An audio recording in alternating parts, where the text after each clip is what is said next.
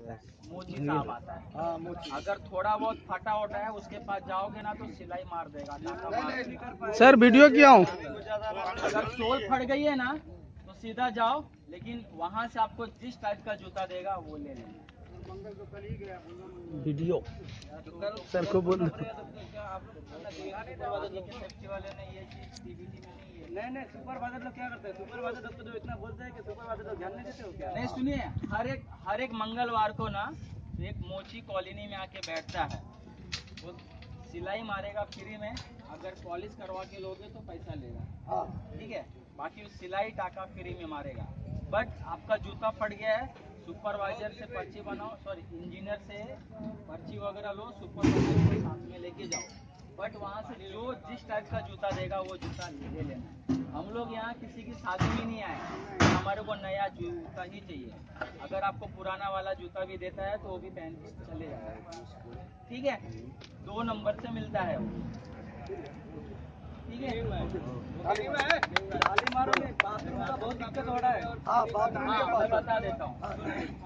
Bathroom का जो है वो सेफ्टी वाला पहले देखता था पानी का पहले देखता था। अभी कॉलोनी का जो सुपरवाइजर है बासु है और उसके ऊपर है झा महाराज है। संजीव झा। पानी का के अंडर में है। कॉलोनी का भी के अंडर में पानी बंद हो जाता हमारा सिर्फ़ ऑब्जर्वेशन रहता है कि ये चीज़ हो रहा है कि नहीं। हम लोग भी उसको कहते हैं। अगर वो नहीं सुन रहा है आप लोग सीधा एक साथ में सुपरवाइजर जाके पीएम को सीधा जाके बोलो। साहब ये चीज़ नहीं हो रहा है।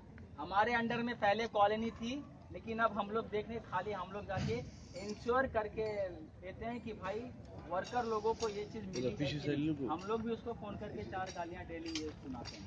बट थोड़ा वो आदमी अलग है। संजीव झा एंड बासु राय। ये दो आदमी कॉलोनी के यही तो अंदर में है। हमारे अंदर में नहीं है। फिर भी आप लोगों का जो चीज़ है मैं जाके वहाँ पे कह दूँगा। अभी वो जान आने जाता है ना इतना कीचड़ हो गया।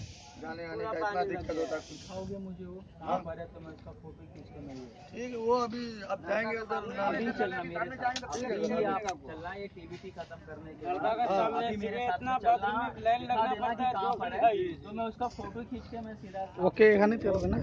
क्लिक ये खाने ना? सामने तो गिर जाता है उसमें गड्ढे में इतना पानी लग गया कौन सा है? सामने वो इधर से सामने से घुसता है। ना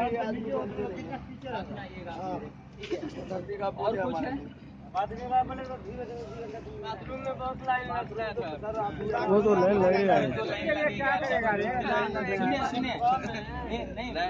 इतना यहाँ पे हमारे को बाथरूम होना था ना उससे ज़्यादा हमने बाथरूम किया इतना भी परमिशन नहीं था। दो लाइन तो है।